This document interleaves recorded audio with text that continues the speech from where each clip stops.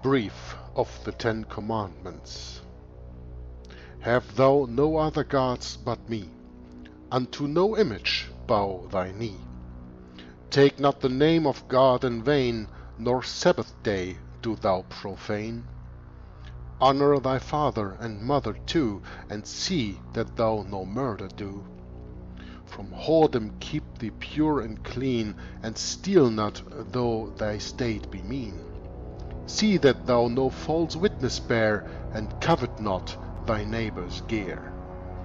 O Lord, our souls to thee convert, and write thy laws into our heart. Hello and uh, welcome to a new video from Joggler66 from Hour of the Truth. This has been quite a day, I can tell you. You know, I did um, the two in inaugurational videos before I wanted to start reading the book from Luther's Works, volume 41. And in that, of course, not the whole book, as I told you, but the latter pages, the book that is called Against the Roman Papacy and Institution of the Devil. And I did my two videos as the introduction before I wanted to start that book. And then today I got the idea, I don't know why, just to try to do a little research and see. Well, you know, I got this complete book in German as a book in itself, and I only have it included in Luther's Works, volume 41, Church and Ministry. And there it is the last part. In the beginning, this book goes about other things, and I'll probably read that also. It goes about um, uh, on the councils and the church in 1539. Then it goes against Hans Wurst for 1541, and then against the Roman papacy and institution of the devil 1545. And altogether, this book has a little bit more than uh, 300 and uh, now I'm gonna take out uh, the index without the index it has 376 pages and against the Roman papacy and institution of the devil is from 263 to 376. So that's only about uh, 113 pages, something like that. And my German edition was 86 pages, so yeah, it's another print and it's German. This has more footnotes and is interesting. But let me come to the point. Uh, I wanted to do a little research and see if uh, this book is to be found as a sole book. Huh? Uh, I, I didn't find that. I thought, yeah, because you know, I wanted to have an image for when I read this, uh, to put an image of that book in the video. Otherwise, I can only use the German one. Well, I didn't even come to that. I Google searched about Martin Luther and the Antichrist, and I fell or I stumbled upon a paper um, that was written by a Seventh day Adventist, and you know what I think of Seventh day Adventist, okay? I think they are, I know they are founded by Freemasons, they are controlled by Jesuits, and they are a diabolic, diabolical sect of quote unquote Christianity, because real Christianity is not diabolical. But anyway, I fell about this paper and I thought, well, you know, I put my German readings into this playlist called Luther 2017 and I will probably put these videos also in the same playlist. So then you have to see of course there are many German speaking videos in there and these will be the very first um, English spoken videos in that in that playlist. But uh, I started this playlist um, about a year ago where I analyzed a paper from the Seventh day Adventists uh, about 500 years of Reformation. And that paper has about 40 pages as far as I remember right now. I don't have it in front of me, it doesn't matter, I have it on the computer. And um, I analyzed that paper, I threw out all the false uh, SDA doctrine, and uh, then I did seven readings and comment, uh, seven readings with my comment on that for a little more than seven hours. And that's the basis of this playlist, Luther, uh, Luther, uh, Luther 2017. Yeah, that's what it's called, Luther 2017. so my point is, I, I stumbled now today about uh, about this paper, which is a journal of the Adventist Theological Society from spring 2007, and um, I thought, well, I should read this because you know you have to eat the meat and spit out the bones. So I wanted to see if this article, which is about 20 pages in a PDF, has some meat or is it just bones? And I can tell you, it is all meat. This paper has nothing, nothing, not one word of Seventh-day Adventist doctrine in it. It is completely biblical and it gives us a nice, how can I say that, a nice journey to understand how Luther, during his life as a Protestant, actually as the Protestant, like the Antichrist, huh? how he came to the understanding that the papacy is the Antichrist. Now, I did this first two inaugural videos, uh, Truth and History. I read that to you, and I read to you the introduction of the uh, of the book of Luther's works, the introduction uh, to the against the Roman papacy. And I wanted to start with that reading today, but now I see it is much better that I will first start with this little pamphlet, I call it, that is written in 2007 from someone from the Southern Adventist University in the United States of America. And I don't care that he is or was a Seventh day Adventist. The only thing that I care about is the truth. By their fruits you will know them. And this work is the absolute truth. And it is wonderfully historically based. When you read it for yourself, you can read all the sources that it is in there. This is written like a story, and that's what makes it so interesting for me to read to you. But it is actually a bibliography of Luther's way between the time of before 1517 even until the time of his death. Because we know against the Roman papacy and institution of the devil was Luther's last work. That book was published the same day the Council of Trent started in 50, 25th of March 1545. And Luther died in I thought it was February or March the next uh, next year. So I really want to read to you this PDF and it's I told you it's 20 pages and of course here and there I will probably make some comment even though I didn't prepare that I just read through the paper to know what it's about and see if it is worth reading and it is but uh, here and there I will make comments, so I don't know if this is only the first of again more than one video or so. Let's see where it takes us, but uh, I think in commemoration commemoration of the 500 years anniversary of Luther nailing his theses to the church door in Wittenberg or the castle door in Wittenberg or even not nailing them but just publishing them in Latin and then later in German all over Europe against the indulgences is a very very interesting thing. And of course, we can expand from this paper that I'm reading here into much, much more. Like, and that's also what I will do, uh, extend to explain the bull of excommunication Pope Leo X uh, gave to Luther. We are going to read that too, because I found that also on the internet. And I think, I think, I love history. You know that. That's why I read these old books and I learn with them all the time. All the time. I'm still in the learning process and the day that I say I know it all, you, you know that I'm lying. I'm in the learning process and I love this learning process. And I love to see that what I read here in this paper, I have had already confirmation in other books and other pamphlets and other documents. So I know that what I read here is true. And that makes it so wonderful. Now I made an introduction of nine minutes and you know that I will put this video no, uh, out no longer than having one hour in total because the attention span is already then very much stressed when you are able to listen one hour to a video of mine. I know that. I know that, but you know, it took me hours to read through that paper and examine it and, and, and, and analyze it and understand it. So I'm just asking you one hour of your time to get acquainted with what I'm reading to you right now.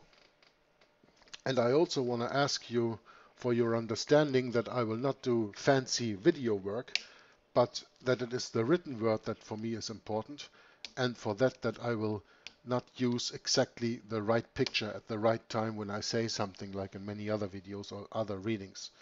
So in this case, uh, I want to apologize for the video work, but uh, you have to understand it's about the spoken word and not about the pictures. So we have come to 10 minutes introduction and I'm going to read to you Martin Luther's views on the Antichrist. In the warm ecumenical afterglow of Vatican II, you know, that council that took place between 1962 and 1965. That was the ecumenical afterglow, yeah, the ecumenical uh, council that sought to find a reconciliation between all the different Protestant denominations and the Roman Catholic Church. In the warm ecumenical afterglow of Vatican II, Martin Luther's identification of the papacy as the Antichrist of Bible prophecy is often seen as narrow-minded, bigoted, and even unchristian. yeah, Martin Luther's view of the papacy as being the Antichrist of Bible prophecy is narrow-minded, bigoted, and it is even a probably terroristic view because it is not politically correct, let me tell you that. But anyway, his view, which until recently was shared by a broad spectrum of conservative evangelical Protestants, is now seen as an embarrassment by some members of churches that retain this interpretation.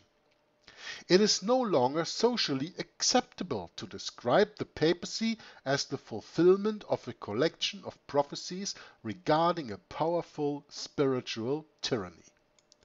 Even the United States Congress has put itself on record regarding this issue. In the year 2000, Congress passed a joint resolution condemning Bob Jones University for promoting this belief. You can read that in uh, the 106th Congress, second session, uh, from February 29th, 2000, and there's a link here um, that leads to the Internet Library of the Congress, and that you can look that up for yourself. It is politically incorrect. That's what it is. Uh, Eric Arthur Blair who you probably better know as um, George Orwell, once said, The farther a society drifts from the truth, the more it hates them who speak about it. And that's the times that we are living in. The truth has never been popular, but it becomes more and more dangerous to speak it, until it becomes even very dangerous to even think it. Now anyway, we continue here. The politicians who passed that resolution were probably unaware that they were undermining the historical foundations of Protestantism. But this is the logical interference one can make from this significant observation by Professor Phillip Cary of Eastern University. Quote, the Reformation wouldn't have happened without the conviction that the Pope was the Antichrist. Unquote. now, there are several things that I have to say to this sentence. The politicians who passed that resolution were probably unaware that they were undermining the historical foundations of Protestantism, the author says here. You know, I, and I guess you also, because when you follow my channel, you, you follow my channel and you watch what I do, we read Rulers of Evil. In the very first chapter of the book of Rulers of Evil, we see among the Holy Alliance, how the Senate of the United States of America and the Congress of the United States of America is run by Catholics, not Protestants. So the politicians who passed that resolution were all of Catholic belief, and of course they were undermining the historical foundations of Protestantism. I just do, I'm not sure that they were unaware of it. I think they were very much, very much aware of it. But people like also the author of this book are probably not aware of that all the ruling people and all the ruling institutions in the United States of America are run by Roman Catholics. Like, for example, your Supreme Court. At least six Roman Catholics and three Jews, not one Protestant on there. And I think four or five people are even members of Opus Dei. Look that up for yourself. Yeah? The politicians who passed that resolution were probably unaware that they were undermining the historical foundations of Protestantism. No, they were not probably unaware. They were very much aware of it because they are no Protestants. They were Roman Catholics. But still, the author says, this logical interference one can make from this significant observation. So here comes the quote now of Phillip Cary from the Eastern University. Quote, the Reformation wouldn't have happened without the conviction that the Pope was Antichrist. Okay. The Reformation wouldn't have happened without the conviction that the Pope was the Antichrist. What Reformation, I ask you? Where has the Roman Catholic Church ever been reformed? Where has the Roman Catholic Church ever changed? Rome does not change. The Antichrist does not change. The Roman Catholic Church, semper eadem, always the same, does not change. Reformation wouldn't have happened without the conviction that the Pope was the Antichrist, yes, but the Reformation was not reforming the Roman Catholic Church. The quote unquote Reformation was bringing forth Protestants with the Augsburg Confession in 1530, 1529, 1530, the term Protestant was formed. And all of a sudden you had Protestants. You didn't have reformers because the more the people went away and saw the Roman Catholic Church for the cesspool of hell that it really is, they all knew that that church is unreformable, is irreformable. The Reformation wouldn't have happened without the conviction that the Pope was the Antichrist? Yes, I agree in that sense that the people who came out of the Roman Catholic Church, starting with, like I said in my very first video, um, Wycliffe, and then Huss and um, Tyndale, that these persons also all identified the Pope as the Antichrist. And that is the basis for this quote unquote Reformation, which never took place. The Reformation never took place. We are now, today, the 10th of October 2017. It's only 21 days until the 31st of October, Reformation Day when 500 years ago Martin Luther nailed his 95 Theses to the church door in Wittenberg, and the Roman Catholic Church has not changed this last 500 years. No, but as we know from the paper that I read to you from communion to from conflict to communion, they say it is not to to uh, explain or, or, or, speak about history uh, to explain a different history, but explain the history in different words.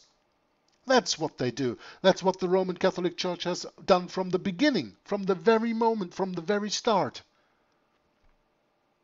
It has been a lying, cheating, mis- uh, cheating, idolatrous, superstitious religion from the beginning, using casuistry and sophistry and never ever telling the truth.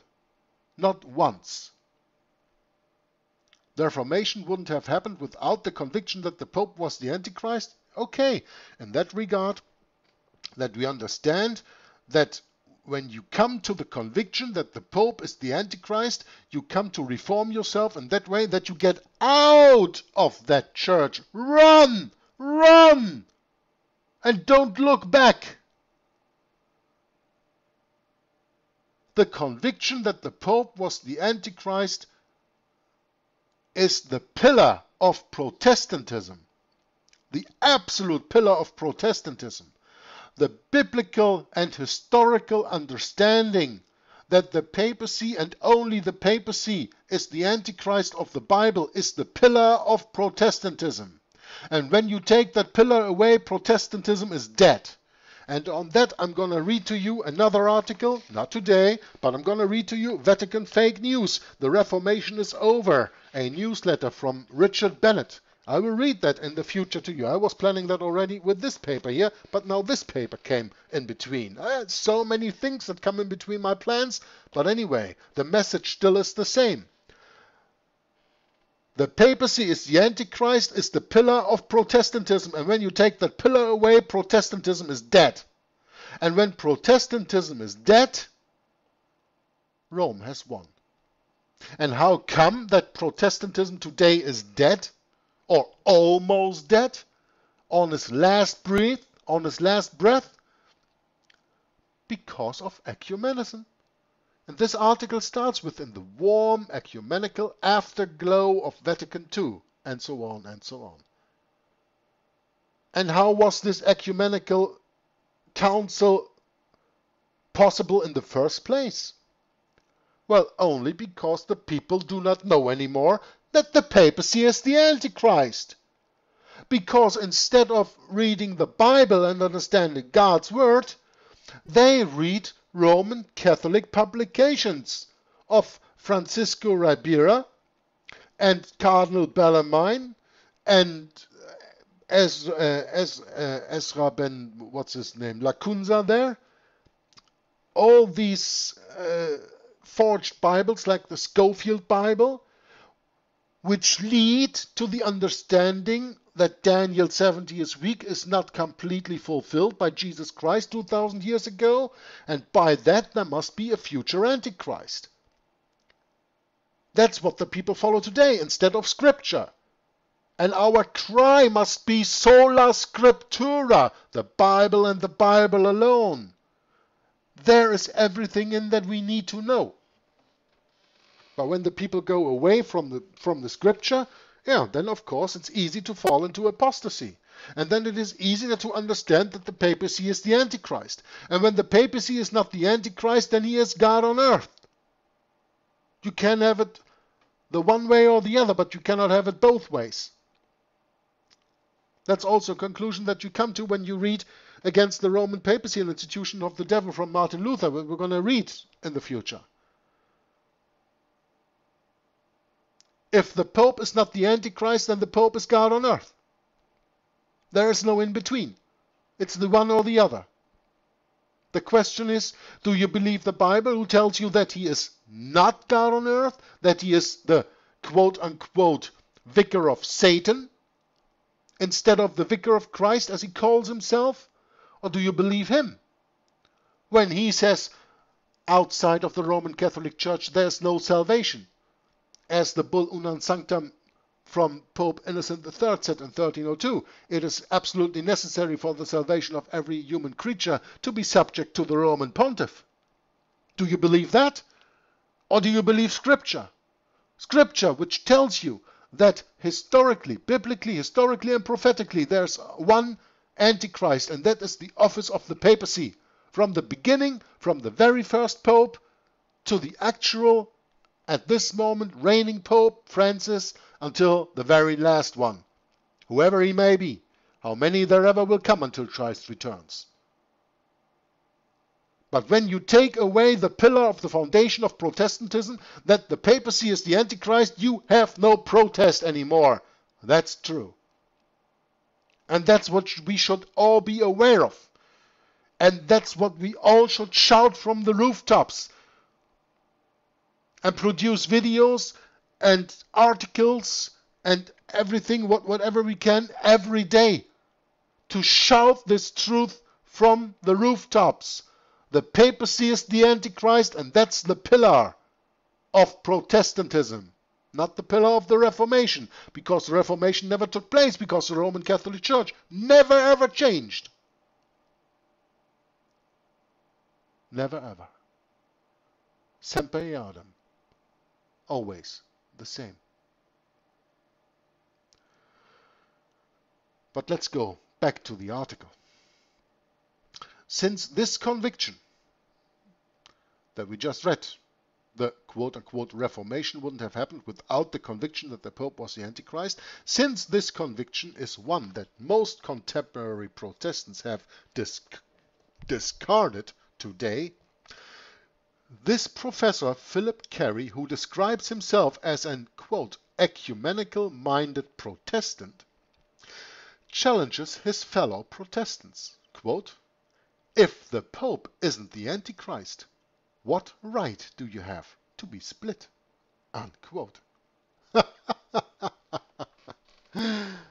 If the Pope is not the Antichrist, you have no right to split because then he impersonates the body of Christ, he and his church. But we know that Rome is of Babylon and not of Christ. But the question that this professor asks here is legit. If the Pope isn't the Antichrist, what right do you have to be split? Well, if you're a biblical Christian, none. But because you are a biblical Christian, you know that the Pope is the Antichrist, and therefore you have every right to split.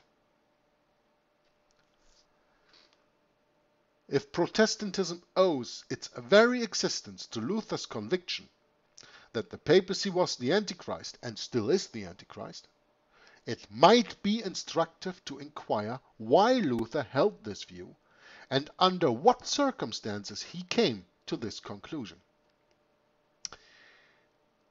That's what this paper is all about. We will see that he came to this view slowly and reluctantly, driven by historical circumstances and theological reflection. We will also briefly note the comparable views of other Protestant reformers and their predecessors. Looking at the idea that the papacy is the Antichrist of prophecy in its historical context might give us a rational basis for evaluating it. We will focus primarily on Luther because it was his views on the subject that triggered the Protestant Reformation. Bravo! I couldn't have said it better.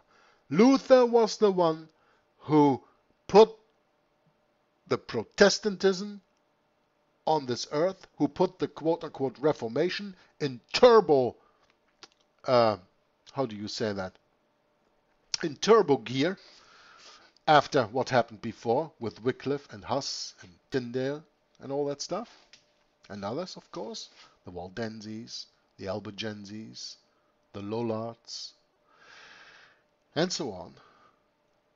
It was Luther's views that triggered the Protestant Reformation. That's true because of Luther's stance in Worms in 1521, which we come to later, and because of his translation of the Bible into the quote-unquote vulgar tongue, the tongue of John Doe, the tongue of the man on the street, that everybody could read the Bible for themselves and start building a relationship, a personal relationship with the Savior Jesus Christ.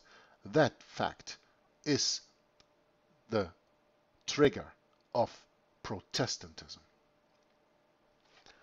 However, we should note that Luther was far from the first person to hold this view. Do you know who was one of the first persons? I don't even say the first, but who was one of the first persons who saw the papacy as the Antichrist? Give you a little tip. It's in the Old Testament. It's one of the most wonderful prophets you have ever heard of. Daniel. He maybe didn't understand it that way, but he was the one who prophesied the Antichrist for the very first time with a little horn in Daniel 7. We come to that later in this reading. We should note that Luther was far from the first person to hold this view. Yeah, every Bible believing Christian before Luther held this view. The problem was there were not so many Bibles. And because there were not so many Bibles, there were not so many people who had them and understood them and read them and believed them and could understand that the papacy was the Antichrist. But there were people before. Luther himself credited John Huss with being the first to call the Pope an Antichrist. Huss did indeed consider the Pope to be the Antichrist, but he was not the first to do so, nor was his mentor, John Wycliffe, although Wycliffe and at least some of his Lollard followers, including Sir John Oldcastle, held this belief. This idea that the papacy is the Antichrist also circulated among the Waldensians, the Albigensians, and the Fraticelli, a group of Franciscans with more regard for the rule of St. Francis than for papal authority.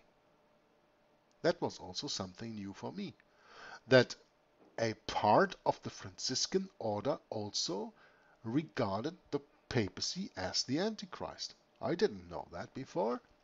I knew that, of course, of the Waldensians and of the Albigensians.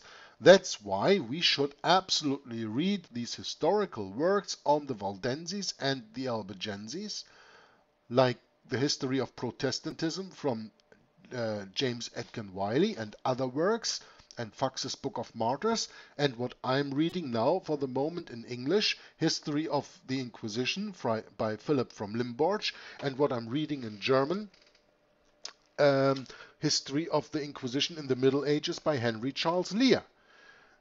When we read those books, we understand that the Waldensians and Albigensians, people who lived there for more than thousand, thousand years in the south of France and north of Italy, in the Piedmont and in the valley region of the, of the Alps, that they all identified the papacy as the Antichrist. But even earlier than that, Back in 991, Bishop Arnulf of Orleans, describing papal murder, lust, and intrigue, asked, quote, Are there any bold enough to maintain that the priests of the Lord over all the world are to take their law from monsters of guilt like these? When a person so deficient in virtue sits on the papal throne, Arnulf suggested that he must, quote, be the Antichrist, sitting in the temple of God and showing himself as God, as we can read in uh, book of Thessalonians, if I'm not mistaken. Let's see, there's a little footnote here.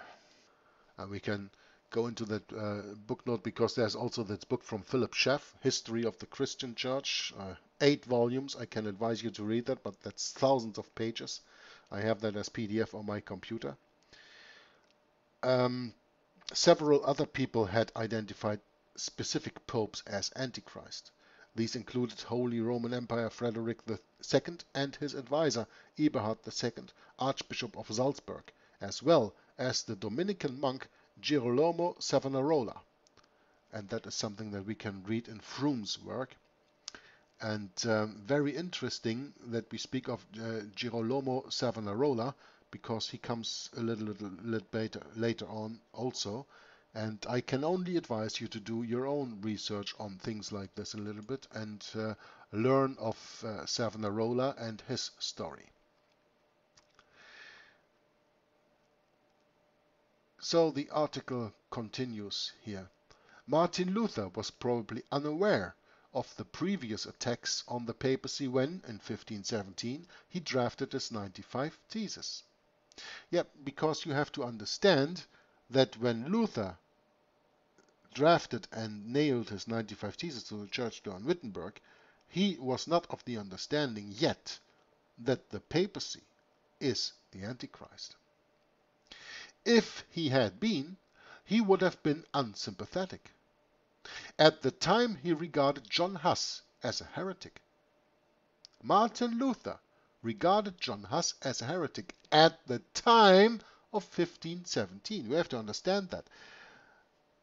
We are reading about the journey that Luther was going all along in his life to come to a deeper biblical understanding. That doesn't come from one day to another.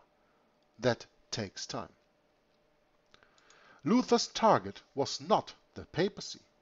It was a greedy Dominican monk named Johann Tetzel, who was distorting Catholic doctrine by uh, exaggerating the benefits of indulgences.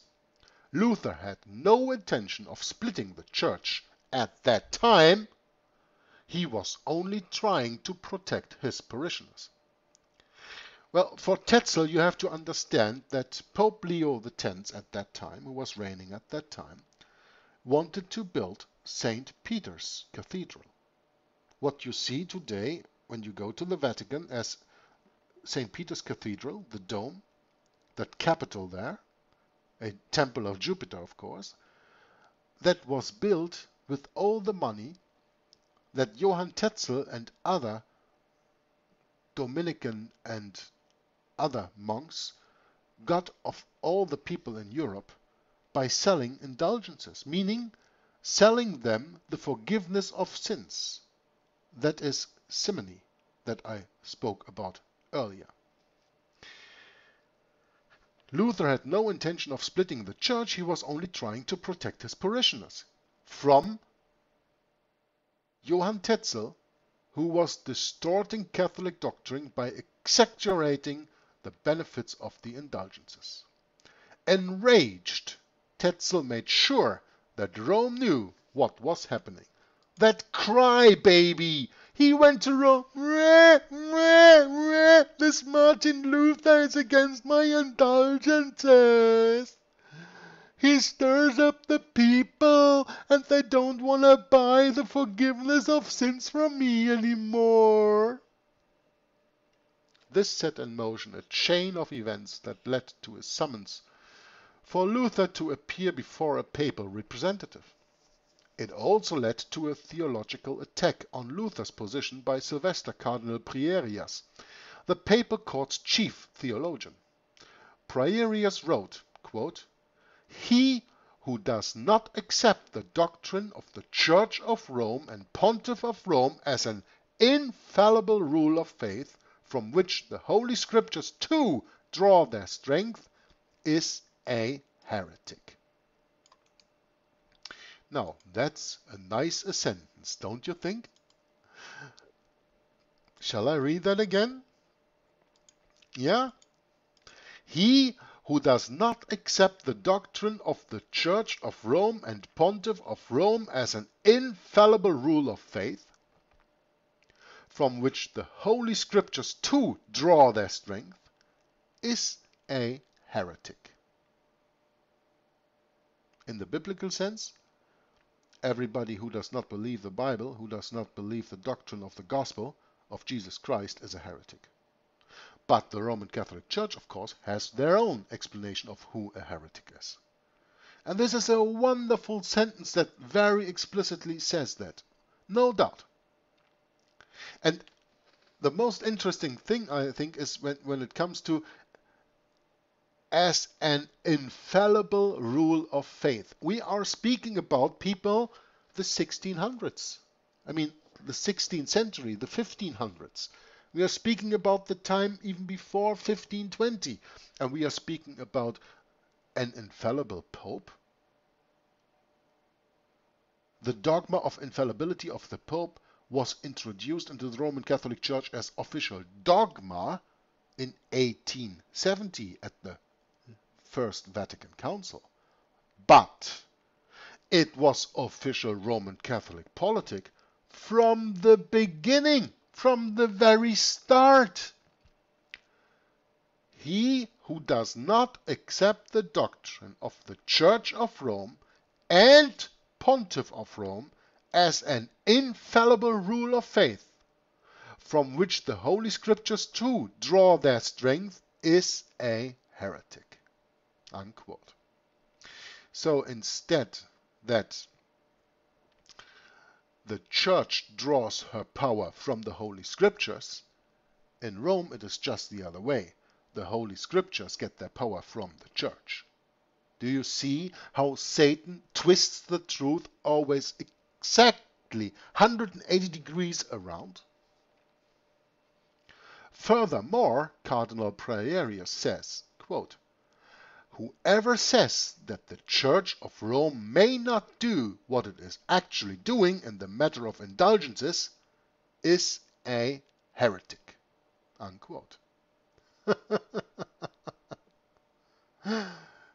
So when you say that selling indulgences, selling the forgiveness of sins is something the Roman Catholic Church may not do, then you are a heretic. Whoever says that the Church of Rome may not do what it is actually doing in the matter of indulgences is a heretic. Rome is everything and everything else is nothing. That's what Cardinal Prierias says here. Prierias had transformed the debate from a question of procedure to a question of authority. That's it.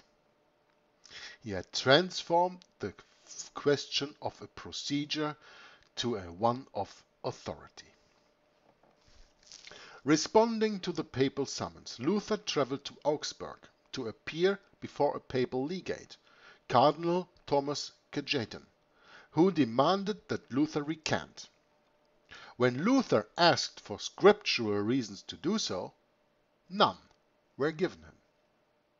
Rome had ordered that Luther be arrested if he refused to recant, but Luther, mindful of the fate of John Huss, avoided arrest by stealing away from Augsburg on the night of October 16, 1518. Now, John Huss, I think, I don't know if that is something that I mentioned already in the last uh, chapter, in, in, the last uh, video, because I was reading about Huss there. But John Huss was uh, summoned to the Council of Constance in 1514, and he was promised um, a safe trip. He was promised security, but he was executed there. The Pope lied. Uh, he used um, mental reservation. but Martin Luther was, faith, was mindful of the fate of John Huss and therefore he stealed away from Augsburg on the night of October 16, 1518, because if he stayed there longer, they would have gotten to him at that time.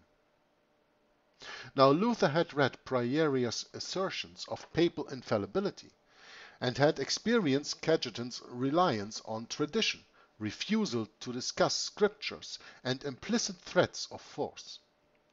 Now he began to consider the possibility that these men might be serving Antichrist. Why? Now he began to consider the possibility these men might be serving Antichrist because by their fruits you will know them.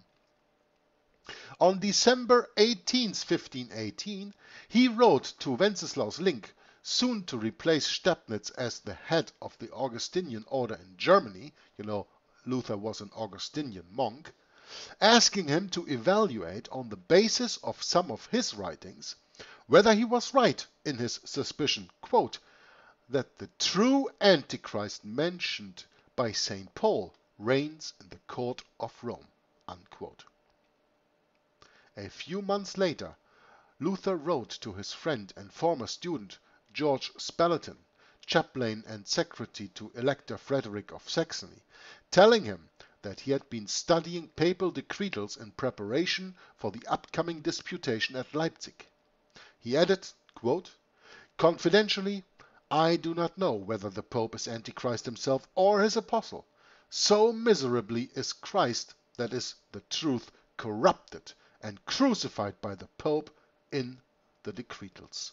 Unquote. Let me read that again. Confidentially, I do not know whether the Pope is Antichrist himself or his apostle.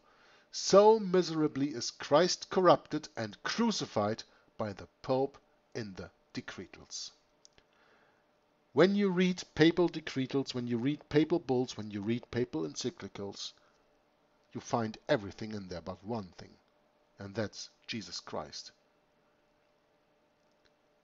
I do not know whether the Pope is the Antichrist himself or his apostle, but when I look at his writings and see how Christ is corrupted and crucified by the Pope and his decretals, I have my suspicions, would Luther say in other words.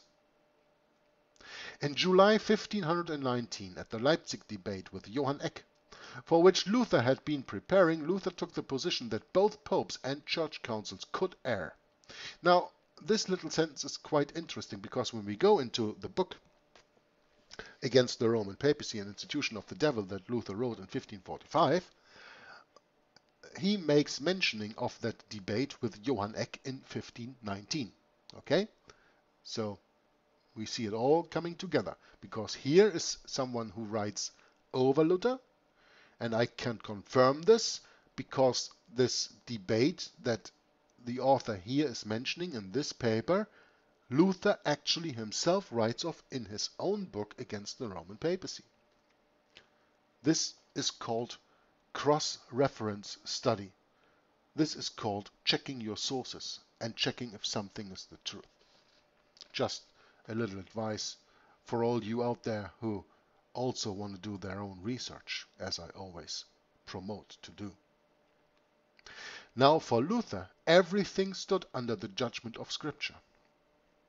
He would soon be using Scripture to pass judgment on the Pope.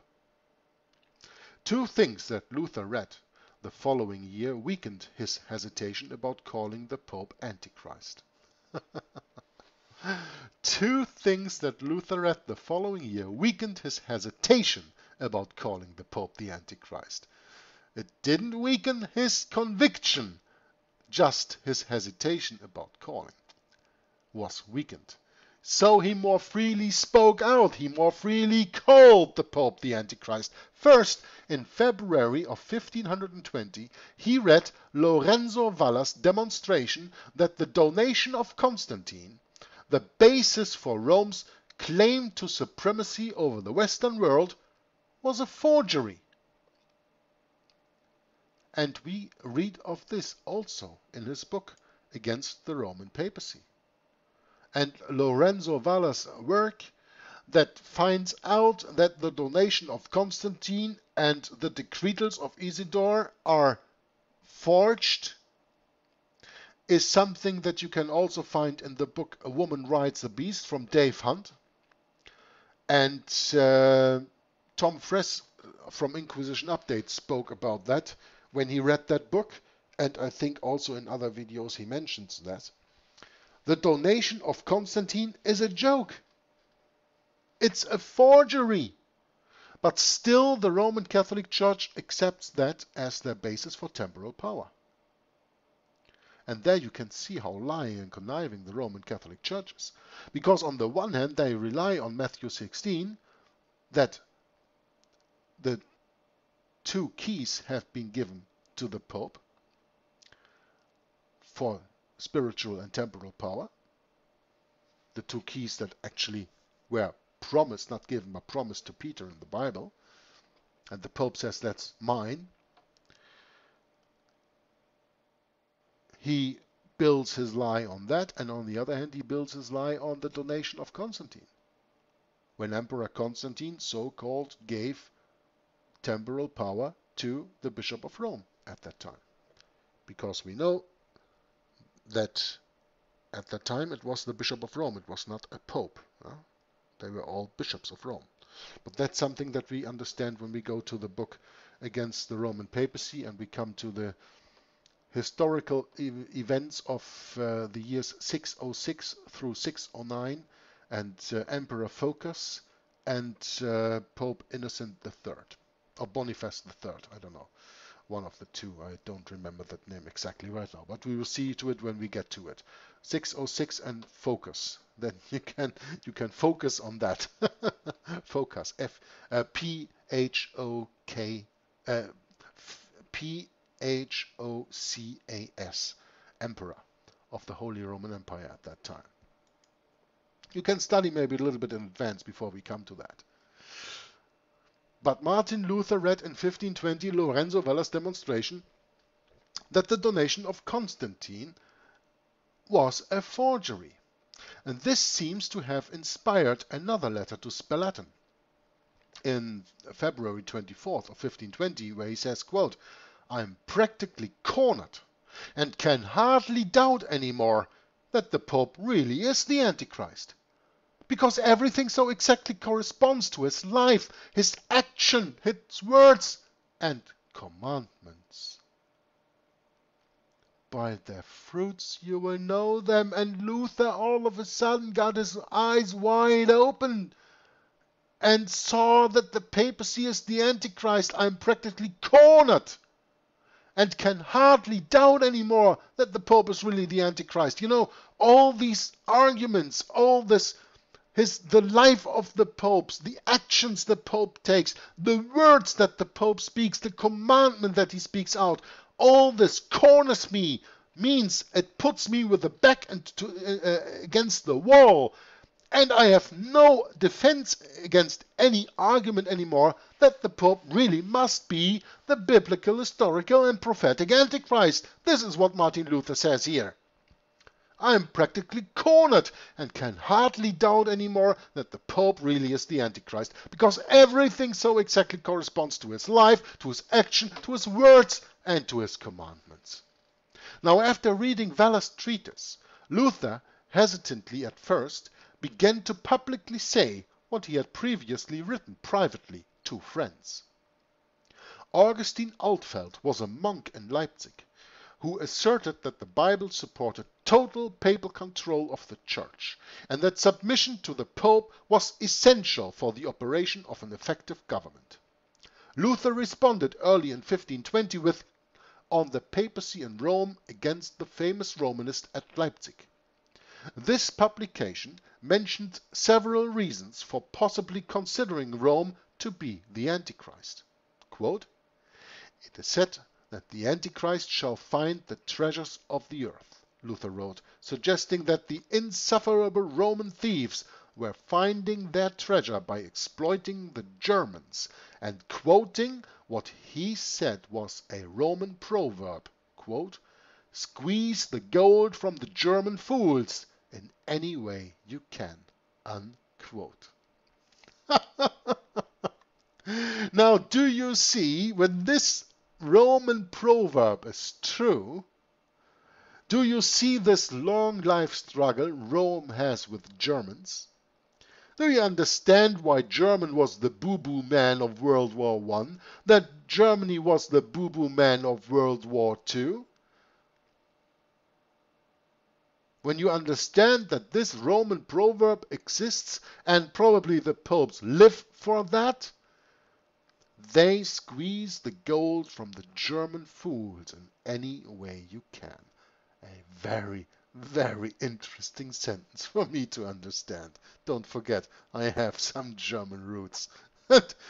you know, I'm not patriotic about any country in this Antichrist system, but I cannot deny my roots and it hurts a little bit to read that a Roman proverb is this because when you read this Roman proverb, squeeze the gold from German fools in any way you can, then you understand what happened in history to your folks, to your people, to your country that you grew up in. And you understand why your culture, your history, and everything else is crushed. When you read proverbs like this, you gain historical understanding. Now Luther then praised the issue of papal infallibility. Uh, sorry, Luther then raised the issue of papal infallibility. Expressing a willingness to accept anything the Pope decreed after first testing it by the Bible, he contrasted this position with that of Roman knaves who placed the Pope above Christ and made him, quote, a judge over the scriptures, unquote, and said that he was infallible. If the Pope expected Christians to place their faith in something visible, means himself, rather than that which was invisible, that is Christ, Luther concluded, quote, I would say right out that he is the real Antichrist. Notice that in neither of these statements did Luther directly say that either the Pope or the papacy was the Antichrist, but he raised the possibility. Luther is going to gain understanding with every more day he experiences. The second thing that Luther read in 1520 that weakened his hesitancy to openly declare that the Pope was Antichrist was Prierias' second treatise against Luther's teaching. Reprising his earlier arguments that the Pope had more authority than either scriptures or church councils, Prierias quoted a passage of canon law that just horrified Luther. The Pope could not be deposed from office even if he were so scandalously bad that he led multitudes of souls to the devil. Shocked at this extreme statement from Rome's chief theologian, Luther wrote to Spalatin, I think everyone in Rome has gone crazy. And this led to Luther's writings of 1520, among others, an address to the Christian nobility. And this is something that I spoke about in Hour of the Truth some time ago.